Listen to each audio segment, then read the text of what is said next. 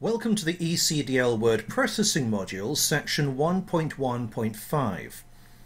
This is a really simple one. It just says switch between open documents. Now if you have a Microsoft Word document open, such as this one here, and you have a second document that you've also got open, you can switch between them very easily by looking at the taskbar.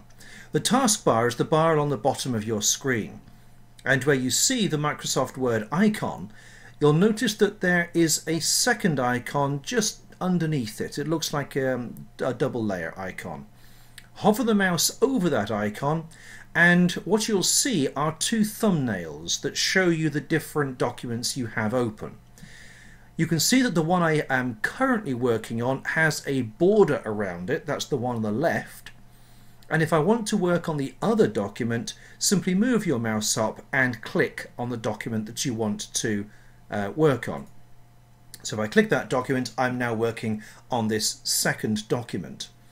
If you click, uh, if you move your mouse rather onto that icon on the taskbar and you just hover your mouse over one document, you'll see that the document as you're looking at it on your main screen also changes. So I hover my mouse over the right hand document and without clicking anything I can see that one. Hover the mouse over the left one, I can see which document that is. It changes on the main screen.